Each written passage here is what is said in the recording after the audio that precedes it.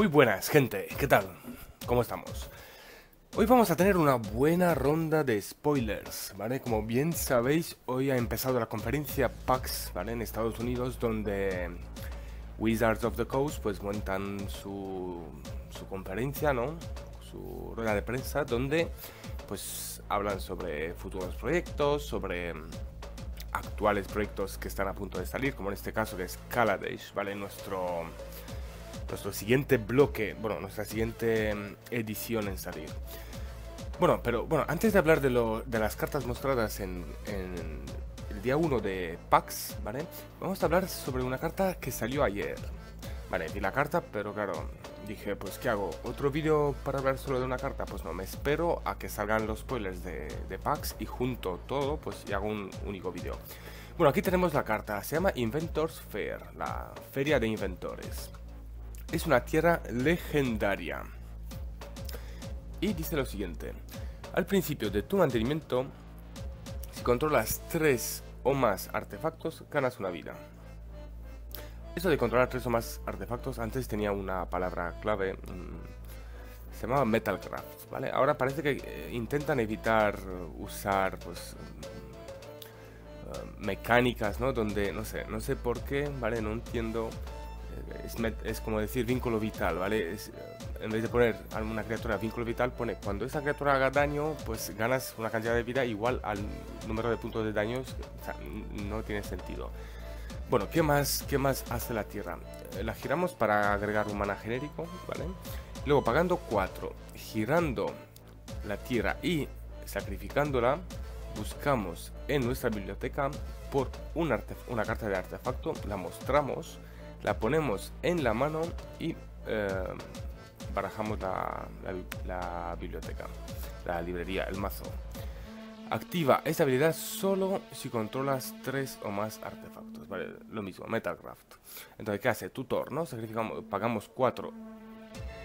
Además de girar la tierra y sacrificarla, o sea, en total se pagas, giras cinco tierras, ¿vale? Y de las cinco una desaparece, que es la feria. Y hacemos un tutor, buscamos el artefacto, lo mostramos, ¿vale? El oponente ve lo que, lo que buscamos y lo ponemos en la mano. Bueno, no está mal. Imagínate que tienes 5 eh, manas, ¿vale? Y al ser una tierra, legendaria, pues eh, en tu mazo, por ejemplo, hay, hay, yo sé, hay tres copias, ¿no? Acabas de robar otra. Y dices, ¿qué hago? ¿Me la guardo? Pues mira, sacrifico la que tengo en juego, eh, me busco un artefacto y bajo la siguiente. Y el próximo turno pues hago lo mismo, ¿no? No, no está mal, ¿no? Y lo de ganar una vida por turno, ojo, ¿eh? A ver, hay mazos rápidos, eh, azules, rojos, creo que vimos en, en Origins ah, como una temática, ¿no? Los rojos, habían cartas rojas que ponían tópteros, ¿no? O encantamientos que ponían tópteros cada turno. Pues juntar tres artefactos va a ser muy fácil. Y ya veremos aquí, en los spoilers veremos más, más cosas interesantes. Entonces, ganar una vida todos los turnos no lo veo nada difícil. Si bajas la carta turno 3 y el turno 4 ya tienes 3 artefactos, pues el resto de la partida ganas una vida, ¿vale? Por turno. Eh, la carta me gusta, seguramente para mazos de, de artefactos es cremita, ¿vale? Este tiene que ser algo imprescindible. Y poco más, ¿vale? O sea, no le veo a lo mejor un Commander, algún, no sé, algún combo o algo así. Bueno, vamos a ver las cartas de, de packs. Bueno, he agrupado las cartas en, tres diapositivas, ¿vale? Aquí tenemos las comunes y las infrecuentes. Bueno, común solo hay una. Aquí en el centro tenemos al pionero propeller. No sé, propeller no sé lo que es. La verdad que no me he molestado en, traducir. Hay, palabras que no, no, siempre entiendo. Vale, a ver, pagando tres colores y un mana blanco tenemos una criatura humano artificiero. Es un 2-1 con la habilidad de volar. Y aquí tenemos una mecánica nueva que es fabricar uno. Vale, aquí nos describe un poco la habilidad. Dice, cuando esta criatura entra en el campo de batalla, pones un contador más uno más uno sobre ella o creas un artefacto sin color servo 1-1. Una ficha.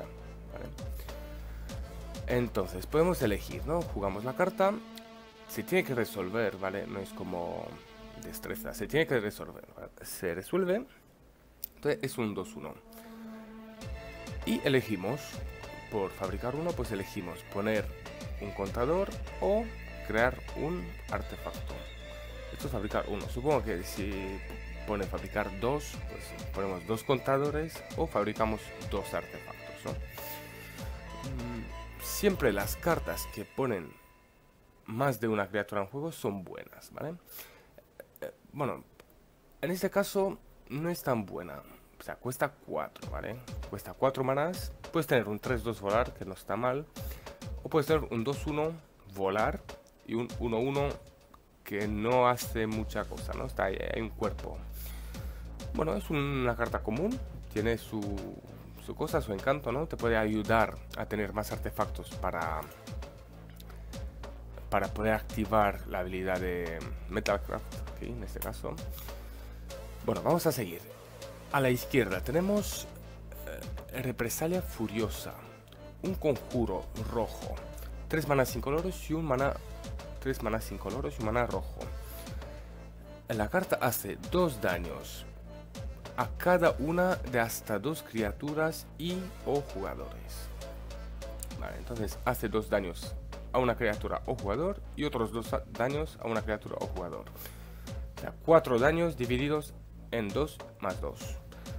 Em, conjuro, ojo, es un conjuro. Si fuera instantáneo ya ganaría, pero al ser conjuro te gastas 4 manás.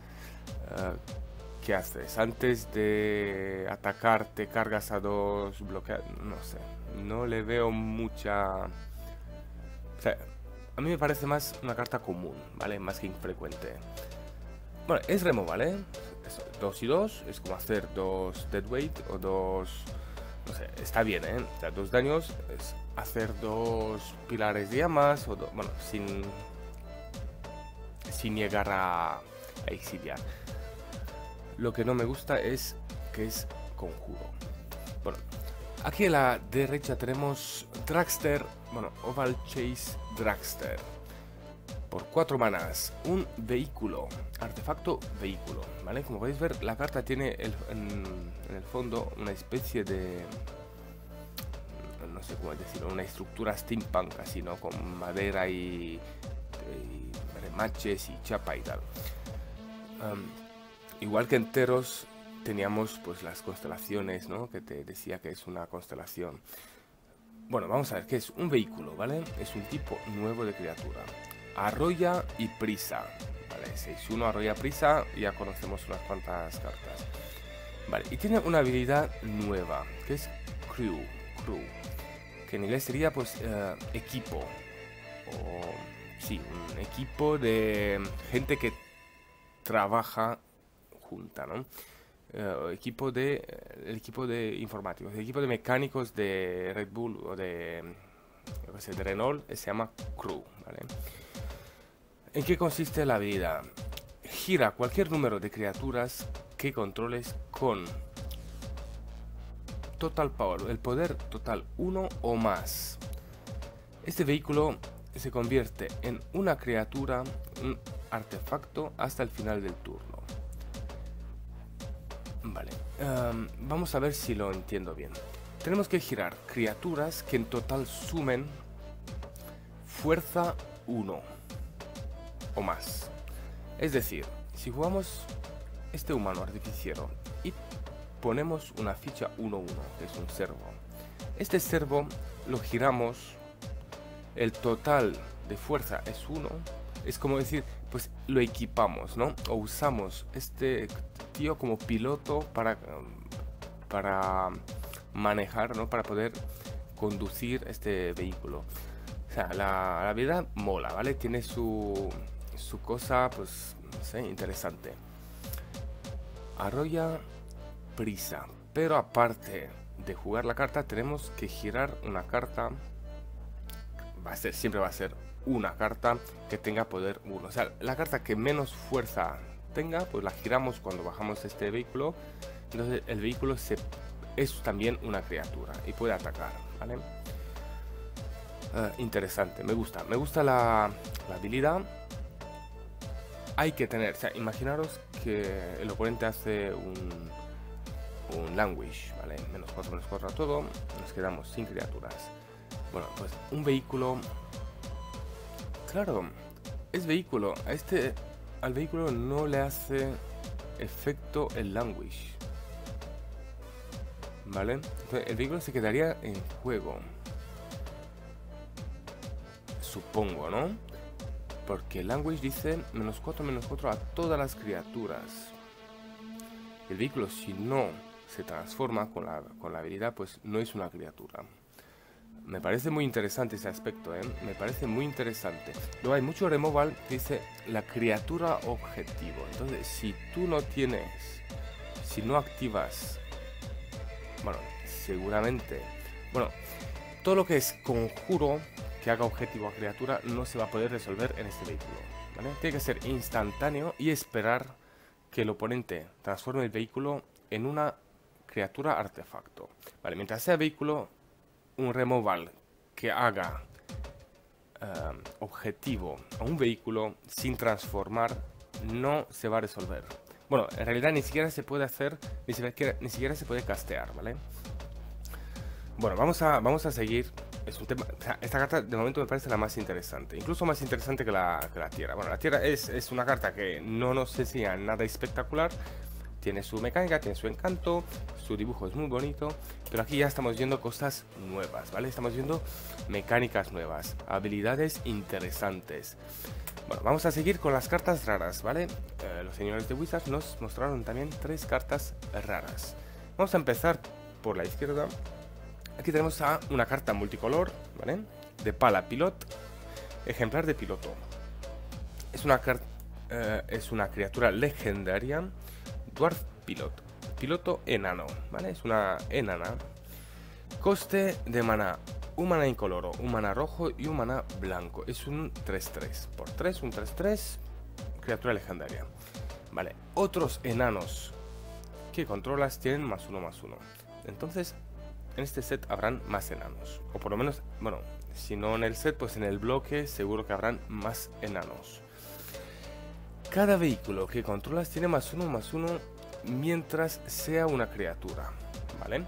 Entonces, el vehículo lo transformamos con el token, por ejemplo, y será un 7-2 prisa, arrollar.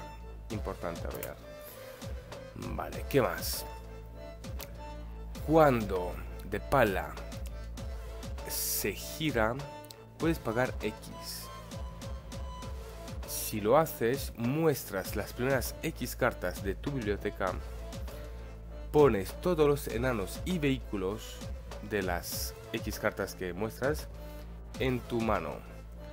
Y el resto lo pones en el encima de la digamos en la parte superior de tu biblioteca en un orden aleatorio. Bueno siempre que siempre que se gira, ¿vale? Esto quiere decir... Quiere decir, la podemos girar atacando, ¿vale? Cuando atacamos con esta criatura, pues la giramos. Y también la giramos para activar, para, digamos, para subirla a un vehículo, ¿vale? Podemos subir a un vehículo, pagamos X, vamos a decir, no sé, me sobran dos manas, ¿vale? O quiero que esta criatura bloquee en el turno del, del oponente, giro mi, criatura, transformo el vehículo y mientras, claro, si está girada, pues pago X. Eh, ¿para, qué me sirve? Bueno, vamos a decir no para bloquear. Al final del turno del oponente, la giramos para activar eh, la habilidad y robamos cartas al final del turno del oponente gastando todo el mana que nos sobra, ¿no? Hombre, si no nos gusta nada, pues, hombre, estamos obligados, ¿no? Pones todas las, todos los enanos y vehículos, ¿vale? Pues muestras tres cartas y si las tres son vehículos, pues tres cartas que robamos, ¿no? Pues me parece, me parece una habilidad bastante interesante, ¿vale? Es legendaria, ojo, podemos jugar dos. Aunque ya no, bueno, tiene sentido porque si le da más uno más uno por dos, por dos, pues sería más dos más dos. Bueno, esta es de pala, ¿vale? Aquí tenemos en el medio Gonti, el Lord de la Lujuria. Otra criatura también legendaria, un Rogue, Etherborn, nacido del Ether, ¿no? Rogue es un pícaro. Dos manas incoloros y dos manas negros. Es un 2-3 con toque mortal. Cuando el Lord Gonti entra en el campo de batalla, mira las primeras cuatro cartas del, de la biblioteca del oponente objetivo. Exilia una de ellas, una de ellas cara abajo y pones el resto en el fondo de la biblioteca en un orden aleatorio. Mientras la carta eh, se mantenga exiliada, puedes mirarla y puedes castear, o sea, puedes jugarla y puedes gastar mana ah, como si fuera mana del tipo que necesita la carta. O sea, imagínate que tú juegas mono black, exilias de pala de pala, pues gastas tres manas negros para jugarla, ¿vale? O sea, el color ya no importa, sino que tienes que parar, pagar la, la cantidad de manas que cuesta jugar la carta. Entonces, miramos cuatro cartas. Jugamos por 4 jugamos a este señor que tiene toque mortal, no está mal, ¿vale? Por 4, 1, 2, 3 con toque mortal. Bueno, no es nada espectacular, ¿vale? Va a ser una infrecuente. Pero claro, cuando entra en juego miramos cuatro cartas. El oponente no sabe qué cartas estamos mirando. Y de las cuatro elegimos una que más nos guste. Y nos la guardamos. Se queda exiliada, ¿vale? Y el oponente no la puede ver. Y las otras tres cartas las ponemos, las ponemos en el fondo de su biblioteca en un orden que no, bueno, aleatorio. Entonces, esta carta la podemos jugar en cualquier momento mientras se mantenga exiliada. Y la podemos jugar pagando su coste, pero sin que cuente el color del mana. Ah, está bien. O sea, no es, no sé, no sé cómo que hay tantas situaciones. O sea, puede ser una carta de las cuatro que miramos, puede ser algo impresionante o podemos encontrar cuatro tierras. Si encontramos cuatro tierras, ¿qué hacemos? Nos quedamos con la tierra y la jugamos. Y ya le damos pistas al oponente de que las últimas tres que tiene en el fondo son tierras, ¿no? Ah, no sé, no me gusta, no me dice nada. Seguro que pues, alguien le encuentra utilidad o lo puede meter en algún combo o algo. A mí no me gusta, la verdad. Bueno, vamos a ver la tercera carta rara que tenemos aquí. Arquitecto de, de las Sindomar, de los Sindomado. Una criatura, elfo, artificiero y druida. O sea, tres tipos. Es una criatura de tres tipos. Eh, coste de mana, dos manas color, su mana verde. Es un 2-3 que siempre que una tierra entra en el campo de batalla bajo tu control, que esto es landfall, o sea, están evitando es aterrizaje, no en castellano, landfall en inglés, siempre que una tierra, o sea, landfall, digamos, cuando se activa landfall, obtienes un contador de energía, ¿vale? Tenemos aquí como una especie de iconito, eh, un, pentágono, digamos, con un relámpago dentro. Vale. Y luego, pagando 1, 2, 3, 4, 5, 6, 7, 8. Creo que son 8. Lo podrían poner de otra manera, ¿no? 1, 2, 3, 4, 5, 6, 7, 8. Seguramente habrá gente que cuente mal eso. O sea, imaginaros, el día de la presentación estás emocionado, estás jugando la final y cuentas mal el maná, o bueno, los contadores de energía en este caso, pues no sé, te falta uno y cuenta 7 y dice, vale, ya lo tengo, pongo, vale, pagando eso, creas una, una ficha 6-6, artefacto, criatura, bestia, sin color. O sea, un 6-6, ¿vale? Que es ficha, es bestia, es artefacto y es criatura. Uh, hay que pagar 8, ¿no? Hemos dicho. Entonces, Tienes que jugar el elfo turno 3, ¿no? Digamos. Turno 3 es lo habitual. También, lo que sea, haciendo un poco de ramp, lo podemos jugar turno 2. ¿Y qué pasa? Pues te gastas tu hermana en este elfo. Este turno lo pierdes. Y a partir del siguiente turno, tienes que jugar 8 tierras. 8. Y tienes que jugar las 8 tierras para crearte un 6-6. Y claro, el elfo se tiene que mantener vivo. Tiene que... Porque si tienes los ocho contadores de energía... Este contador, ¿dónde se almacena? Lo pones encima del elfo, se queda ahí... No, no entiendo cómo se va a contar eso. A lo mejor con los dados, ¿no? Igual que las vidas se cuentas... Pues tengo siete, vale, pues ¿cómo lo sabes, no? Alguien lo tiene que controlar.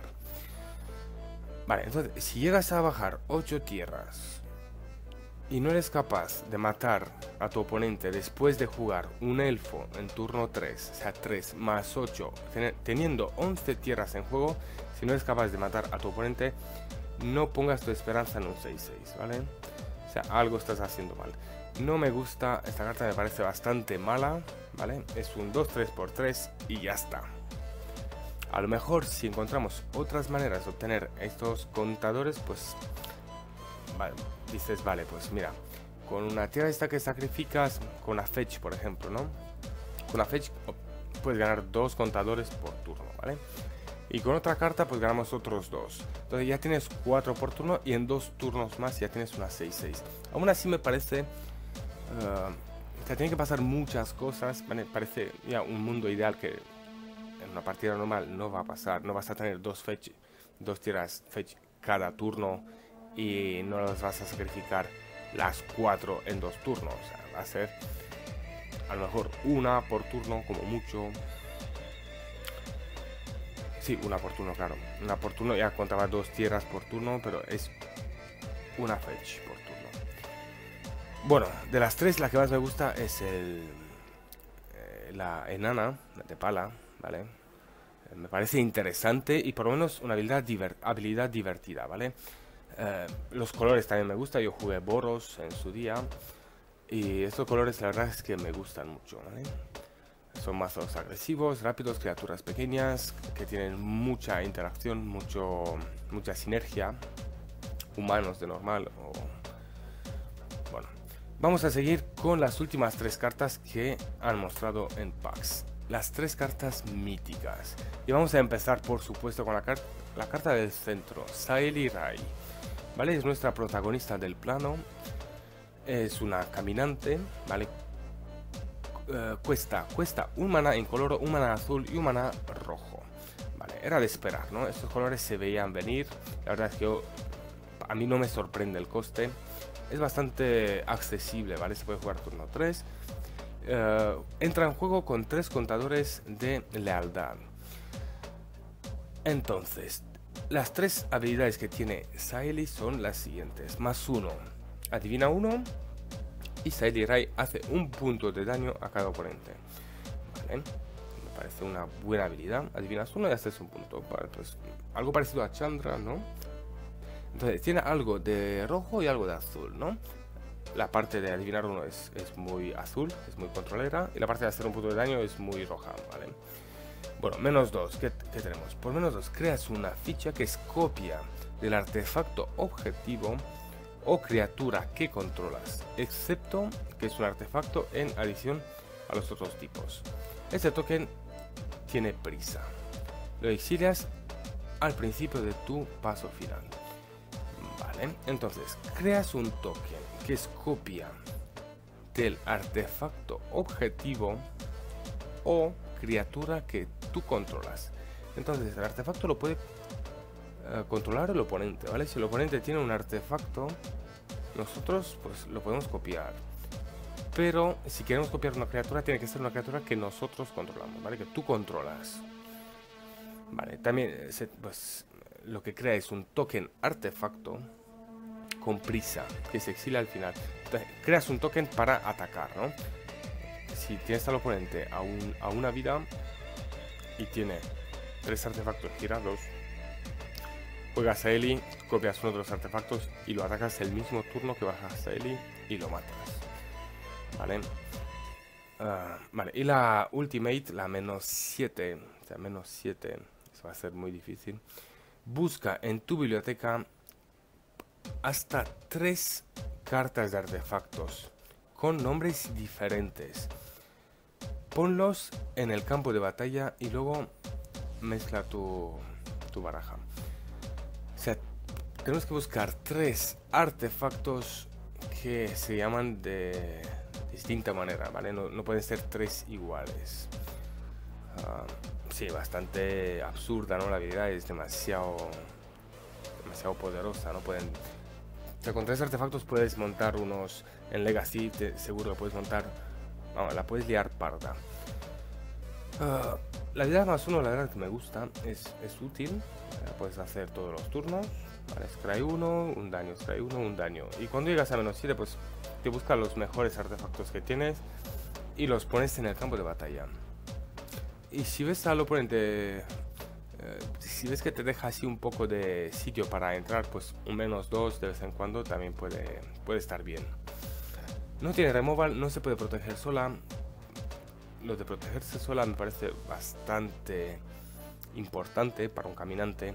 Por ejemplo, Garuk se pone una ficha. Um, Nisa también se pone fichas. Yo Liliana pues te hace sacrificar. O sea, los buenos caminantes se protegen, ¿vale? O te giran cartas o algo hacen para que tú no puedas atacarles. O te ponen bloqueadores o algo así.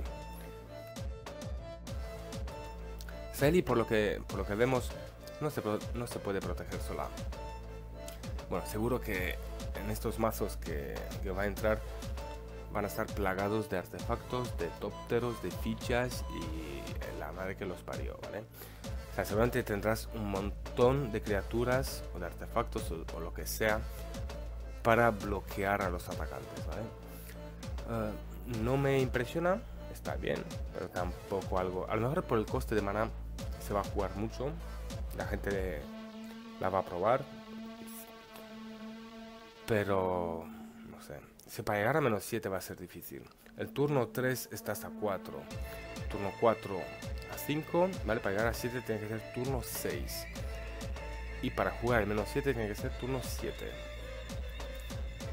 Si todo va bien, ¿vale? Si haces el más 1 en cada turno y si no te atacan, si no te hacen daño y todo eso.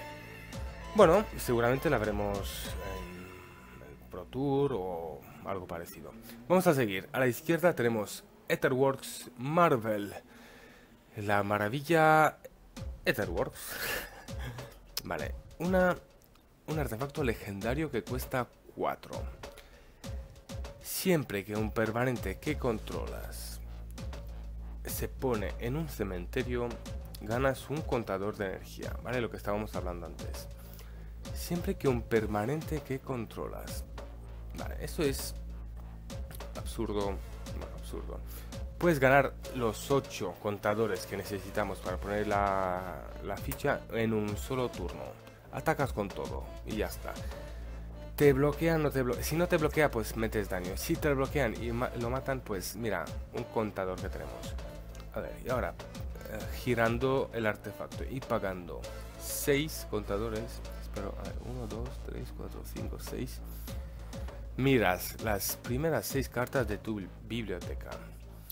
Puedes jugar una carta de las seis sin pagar su coste de mana. Pones el resto en la parte inferior de tu biblioteca en un orden aleatorio. Vale, entonces aquí pagando 5, lo que hacemos es jugar una carta sin pagar su coste. Esta carta tiene que ser una de las seis primeras que hay en tu biblioteca. 6, ¿vale? de seis cartas seguro que algo bueno hay, seguro. Imaginaros que pues jugamos en este coste 5. Algo así grande. Bueno, 6-1 prisa no está mal. Tiene que haber una carta con coste... O, o si metes esta carta en un mazo de... De Zendika, ¿cómo se llama? De Eldracis. Y juegas en Rakul. o cartas con costes absurdos se pueden jugar así, ¿vale? Se pueden jugar así. Pues acumulas contadores de energía y pues mira, si miras las primeras 6 y ves que no te conviene nada, te las tiras con algo al cementerio y sigues buscando.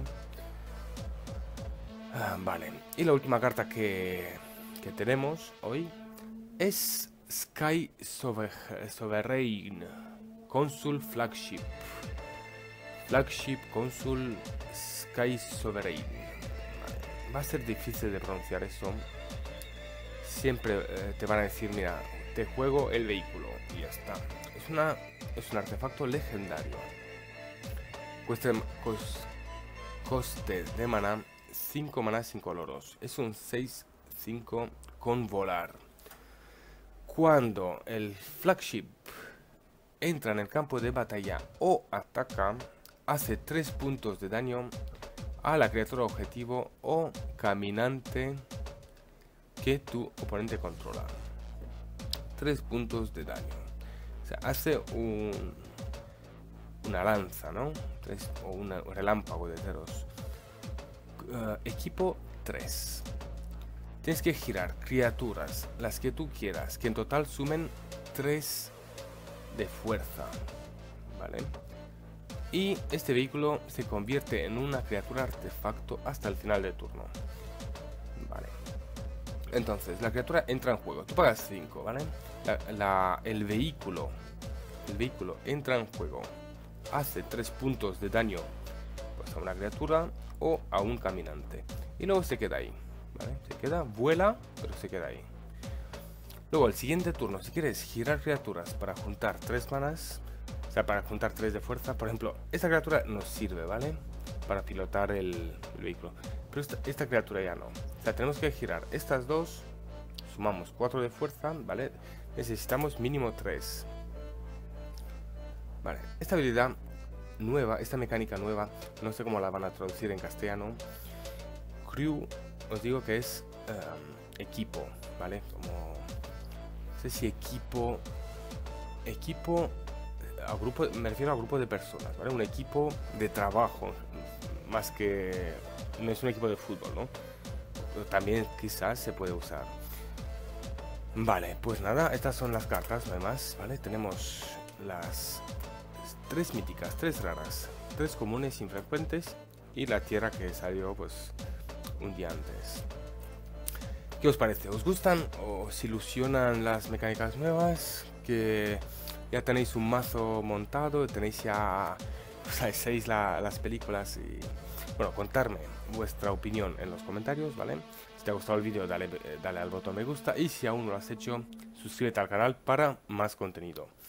Muchas gracias a todos. Nos vemos en el próximo vídeo. Bueno, vamos a tener un pequeño extra. Mientras estaba generando el vídeo, veo que han mostrado 7 cartas más, ¿vale? Tenemos 1, 2, 3, cartas infrecuentes, dos comunes, una rara y una mítica. Vamos, una legendaria mítica. Vamos a empezar con las comunes. Aquí tenemos una criatura blanca, coste de mana 2 incoloros. Un mana blanco es un 2-2 artificiero enano que tiene la habilidad de fabricar uno. Entonces, entra como un 3-3 o como un 2-2 y pone un, una ficha. Me parece bastante mejor que la criatura que vuela, ¿vale? Es un 2-2 por 3, que no es mala... Bueno, es mucho mejor un oso, ¿no? 2-2 por 2, pero no te pide doble coste ni nada raro, ¿vale? Además pone un 1-1. Vale, este 1-1 vimos que se puede usar para ayudar a otras cartas que son... ¿Cómo se llamaban? Se llamaban vehículos, ¿vale? Pueden ayudar a vehículos a transformarse en criaturas artefacto una carta bastante buena, ¿no? Para ser común, me gusta. La siguiente común, tenemos un vehículo artefacto, un 2, 3 por 2 incoloros que vuela y tiene equipo 1. Entonces, podemos jugar, podemos girar este, este token, esta ficha que crea cualquier criatura para transformarla en una voladora. Una voladora 2-3 por 2 es algo impresionante. No sé por qué esta carta es común. Tiene que ser mínimo infrecuente. El dibujo es bastante bonito. Me gusta. Parece así una especie de nave espacial con timón. Muy buena. Siempre que voy a tener esta carta en, limitado la voy a jugar, ¿vale? Es, es muy buena. Es un vehículo, ¿vale? Hay que tener en cuenta de que por sí sola no sirve de nada, ¿vale? Es un vehículo que no hace nada hay que girar otra criatura que tenga fuerza 1 o más para que esta, este vehículo se transforme en una criatura artefacto. Vale, y la... Vale, solo hay dos comunes. Bueno, infrecuentes. Aquí tenemos un artefacto que cuesta 3 manas incoloros y pagando 4 y girando el artefacto, creas un tóptero 1-1 con volar. Pagar 4 para crear una voladora 1-1 me parece bastante flojo. Es una habilidad bastante mala. Ah, pues claro, hay que tener en cuenta de que estos artefactos no tienen mareo de invocación. Se pueden girar, no pueden atacar el turno, o sea, no tienen prisa, pero se pueden girar para transformar el vehículo. Pero claro, baja por 3, ¿vale? Si bajaría por 0 o por 1, lo entendería, pero si baja por 3 y tienes que pagar 4, si lo bajas, te puedes gastar el turno 3 entero en jugar un artefacto que nada más entrar no hace nada. Y el siguiente turno te, lo gastas entero porque pagas 4. Eso sí tiene si juegas una tierra. Y creas un token 1-1. O sea, muy, muy, muy flojo, ¿vale? Un artefacto bastante malo. Me parece mucho mejor la carta común, el vehículo, que este artefacto. Vale, espero no equivocarme. Vale, ¿qué más tenemos? Infrecuentes. Tenemos un piloto humano, una carta roja, ¿vale? Piloto humano, criatura. Cuesta un incoloro y un manano rojo. Es un 2-1 con prisa. Cuando equipa Cruz, cuando ayuda a un equipo, a un vehículo a transformarse, este vehículo gana prisa hasta el final del turno. Vale. Los pilotos, por lo que vemos, están diseñados o, quieren, quieren, eh, animan al jugador a que los usen para equipar vehículos, ¿vale? Entonces tenemos, podemos tener un mazo con pilotos y vehículos, ¿vale? Entonces, para jugar un vehículo tienes que tener pilotos. Y si tienes pilotos y no tienes vehículos, pues son criaturas sin más, ¿vale? Este es un 2-1 por 2 con prisa que ya está bien, ¿vale? Ya, tiene su, su punto a favor. El punto en contra, pues resistencia 1, ¿vale? Puede morir con cualquier chispa o menos 1, menos 1, cualquier cosa así, ¿no? Pero es bastante útil, ¿no? Le da prisa a un vehículo. Imaginaros que lo lo equipamos, lo, no sé si equipar es la palabra, lo ayudamos, conducimos este vehículo, pues 6-5 con prisa está bien, ¿no? O sea, lo juegas por 5, el turno 5 y atacas de 6 por aire. Vale, tenemos un conjuro que también es una infrecuente, conjuro rojo que cuesta 3 incolores y mana rojo. Los vehículos que controlas eh, se transforman en artefactos hasta el final del turno. Criaturas que controlas tienen más 2 más 0 hasta el final del turno. Vale, ¿esta carta qué hace? Pues si tienes varios vehículos, los transforma sin necesidad de girar ninguna, ninguna criatura. Está bien. Imaginar, lo, que, lo que os decía antes. Language. Nos matan todas las criaturas, pero nos quedamos con los vehículos. Pues haces un top deck de Start Your Engines, o sea, arranquen los motores y pones en marcha todos los vehículos. Pues una carta cojonuda para mazos de vehículos. Bueno, la carta rara.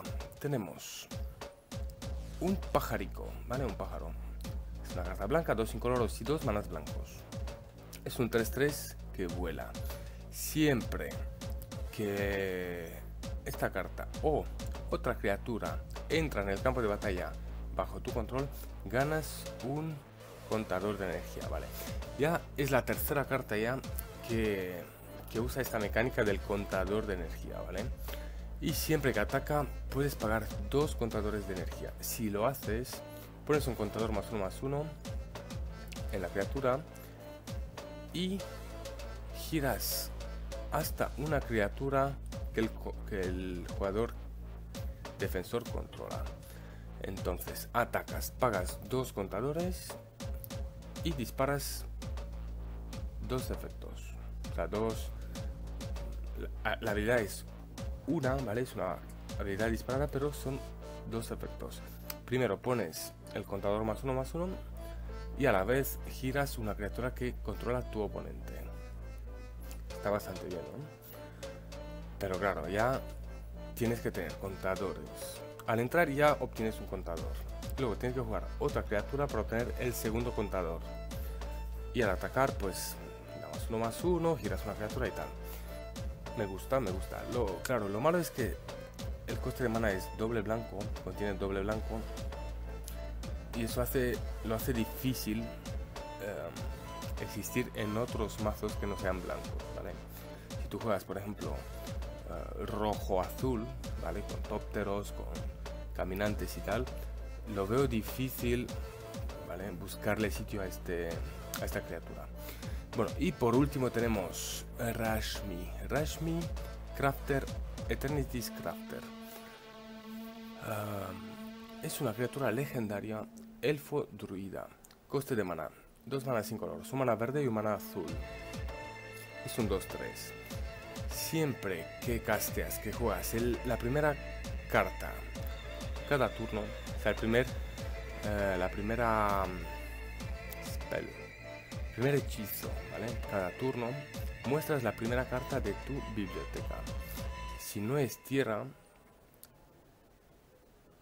y el coste convertido de mana es menos if it's a non card con coste de convertido de mana menor que la, carta jugada, puedes jugar esta carta sin pagar su coste de mana.